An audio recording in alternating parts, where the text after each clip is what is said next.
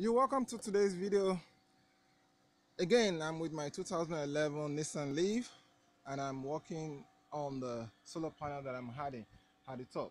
It's a 200 amps of uh, 200 watt two of them making 400 watts connected in parallel joined together now i route the cable through the back. Uh if i'm able to open this okay. This is a cable on both sides route it through that side not drilling any hole nothing. That's the negative. And the other one is the positive coming in into the solar controller. And here is a solar panel that switch on the solid state switch.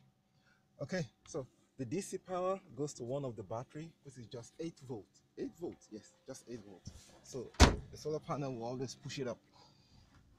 Yes this comes switch on the relay and the relay so right now it's on and it's working and it's telling me hey your little voltage coming from the battery is too low 8 volt. Yes i know. And that's why i set it up like that 8 volt from the battery. Okay. The battery below the car is this. The logic behind what i've done is this. The total voltage of the battery behind and the total voltage of the battery below the car if it is different they will balance up.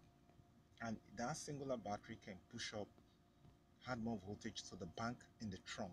Thereby the battery in the trunk have will have higher voltage in total compared to the battery underneath the car. By so doing it will be charging it. That's my thinking.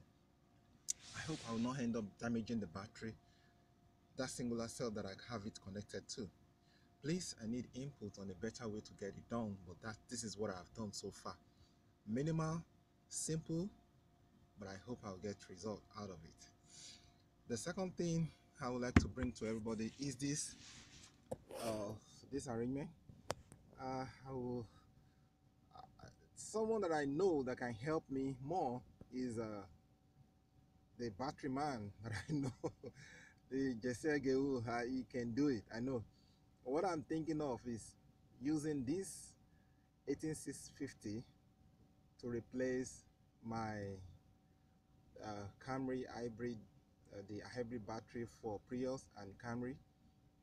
Can it be done? Replace it?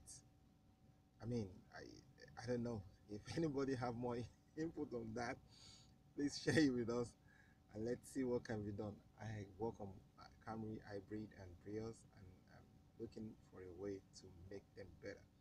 All right please share subscribe and have a good day. Bye